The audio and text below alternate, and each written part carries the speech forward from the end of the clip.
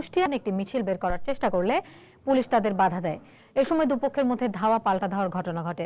এ সময় পাঁচজন আহত হয়, আটক করা হয় হেফাজতে ইসলামের জেলা শাখার সভাপতিকে।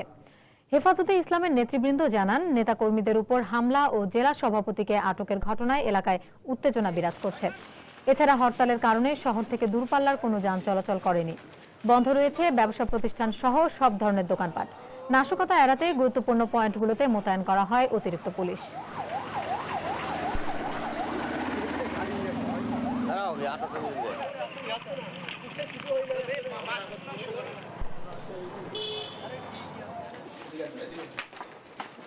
Obrigado,